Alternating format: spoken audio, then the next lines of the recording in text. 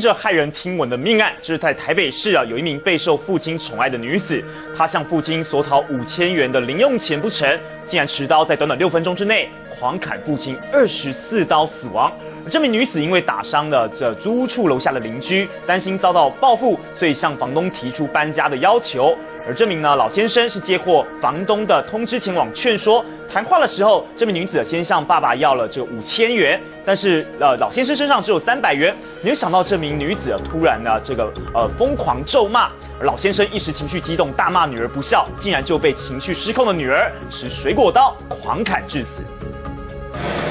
命案现场拉起封锁线，老翁陈尸地点是在台北市林森北路一栋住商混合大楼的二楼套房。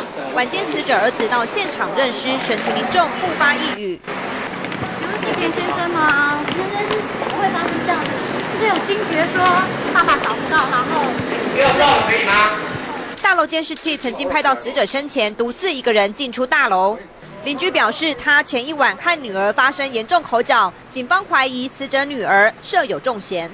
前胸是六刀了，后背是十六刀，那手背有两刀，这是比较明显的刀伤了。那现场有三把刀哈，两把已经刺断了了哈，啊，三把都是水果刀，那致命伤应该是在喉咙跟胸部这两刀了哈。的确是房东嘛，对不对？那知道他们家里的状况怎么样吗？啊？知道他们家里状况怎么样？因为他们在办案，我不能讲啊。有几个人住在这里？死者田姓老翁，七十四岁，全身刀伤，胸口六刀，背部十六刀，跪卧在客厅的鞋柜处。死者的一双儿女年约四十多岁，不过女儿在案发之后一度失去联络，在警方策动之下，老翁的女儿才愿意出面配合调查，说明案情到底有没有涉及命案，很快就会查个水落石出。中天新闻白建华、郭昭琪 SNG 小组配报道。